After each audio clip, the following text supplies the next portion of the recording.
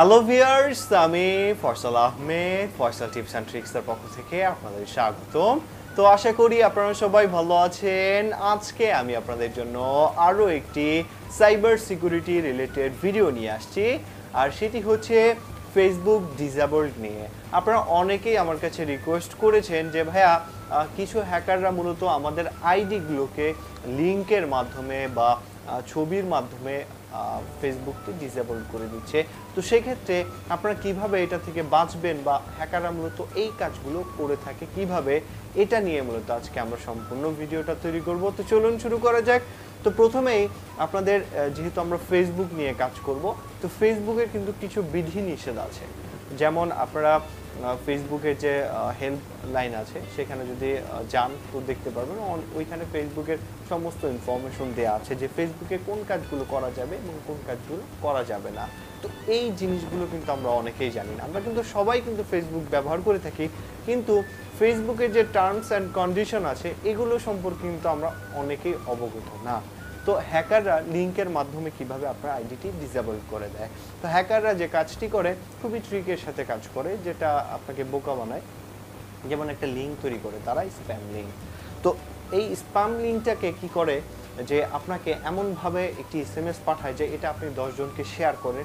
Share না করলে আপনার এই হবে বা এই হবে, বা কোনো একটা টাইটেল দিয়ে যে টাইটেলটি খুবই আকর্ষণীয় এমন একটি টাইটেল দিয়ে আপনাকে বলে যে এই লিঙ্কটা আরও পাঁচজনকে শেয়ার করো। আপনি এমন একটা অফার পাবেন, ওরকম কিছু পাবেন।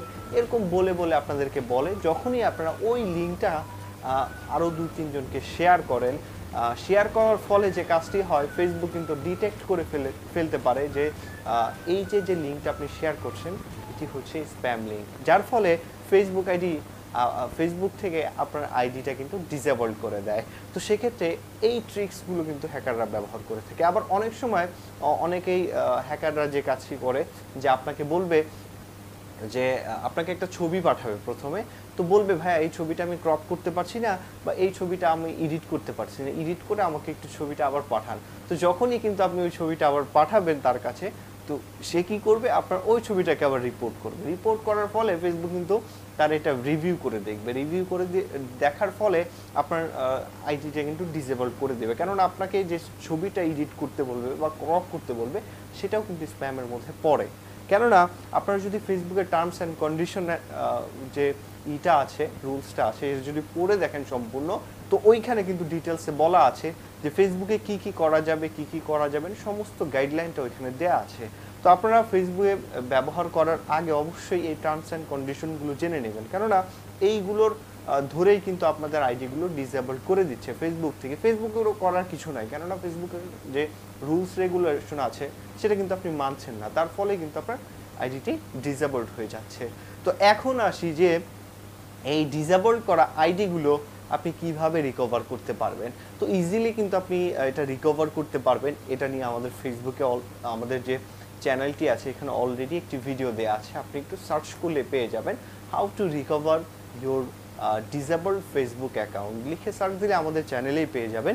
তো ওইখানে আমরা খুব ডিটেলসে বলে দিয়েছি যে কীভাবে আপনার আইডিটা যদি ডিসেবলড হয়ে যায় রিকভার করবেন।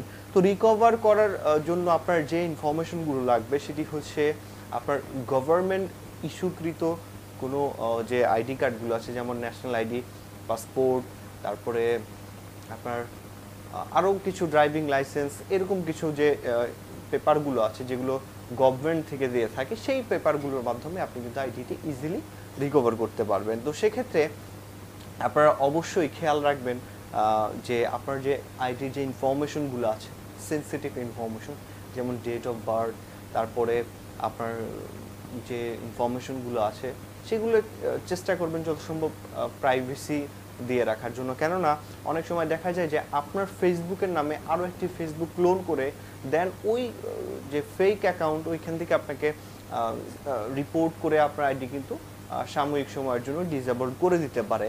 তো সেক্ষেত্রে এই সব বিষয়গুলো যদি আপনি মাথায় রাখেন, আপনার আইডিটা কিন্তু কখনোই ডিসেবলড হবে না।